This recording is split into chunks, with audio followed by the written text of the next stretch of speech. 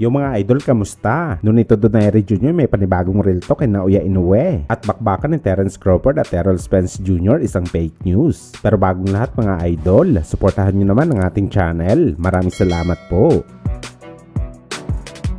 So matapos nga ang unang pagkikita ng dalawang bantamweight superstar sa pagitan ng Unified IBF at WBO World Champion na si Naoya Inoue kalaban ng mortal na karibal nito na Pinoy na si Nonito Donaire Jr. Para sa bakbakan nila nagaganapin naman sa Martes sa Saitama, Japan kung saan sa kalimitan natin na nakikita sa Pinoy at Hapon e puro tawanan at kulitan ang nangyayari. Dahil kahit magkalaban sila sa bakbakan e magkaibigan naman sila sa labas ng boxing ring. Pero kahapon kapansin-pansin mga idol na seryoso ang dalawa. Animoy face off lang gusto na talaga nila magbasagan ng muka sa ibabaw ng stage. Mas lalong uminit pa kasi ang bangayan ng mga kampiyon sa kung ano man ang prediction nila sa unification fight. Si Inoue pinipilit na sa pagkakataon daw na ito, isisiguraduhin niya na hindi na mauulit sa kanya. Ang sinapit nito na punishment sa kamay ng Pinoy sa unang laban nila. At sa pagkakataon na ito, isinunito lang daw makakatanggap ng bugbog sa katawan sa salpukan nila. Bagamat sa simpleng buwelta naman ng Pinoy sa Hapon, kung noong una daw binasag at winasak nito ang orbital ng Japanese monster sa bakbakan, ipin Pinapangako nito na hindi daw aabot sa desisyon ang pagharap nila ni Naoya Inoue sa June 7 dahil literal niya daw ito papatulugin sa ibabaw ng lona. Dagdag pa nga ni Filipino Flash sa kanyang bagong real talk sa Unified Champion na pinablish naman ng BoxingScene.com na ayon kay Nonito. Nahuli na lang daw nito na pagtanto sa pagkatapos ng kanilang laban at nabigo niya makuha ang panalo. Na kayang-kaya niya daw talunin ang Hapones sa bakbakan. Hindi naman daw siya makikipag-rematch kay Inoue kung sa palagay nito hindi niya kayang talunin at bugbugin ang Unified Champion na parang ibig sabihin ni Nunito mga idol na hindi naman daw siya baliw o tatangkain na hamunin ulit ang power puncher na si Inoue kung di niya kayang tapatan ang galing nito sa bakbakan. Idagdag pa daw ni Nunito ang kanyang matinding motivation na gusto makuha o ma-achieve bilang boxer. Ang pagiging undisputed world champion sa boxing sports. Halos daw kasi lahat na accomplish na ng Pinoy sa bakbakan. Pero ibang klase daw ang record na undisputed. Kaya ang talunin daw muna ang Hapones sa bakbakan ang magdadala sa kanya sa daan sa pagiging undisputed bantamweight world champion. Thank you.